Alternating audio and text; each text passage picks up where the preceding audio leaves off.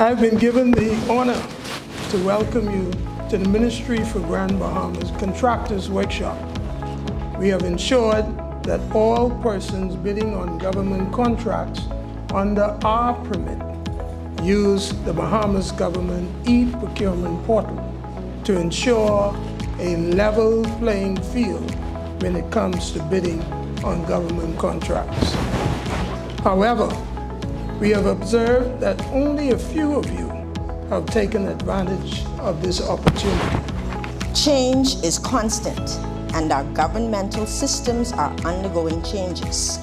In many cases, moving from an analog way of doing things to more advanced systems for processing. All of this is a part of the government's push for digital transformation as mandated in our Blueprint for Change.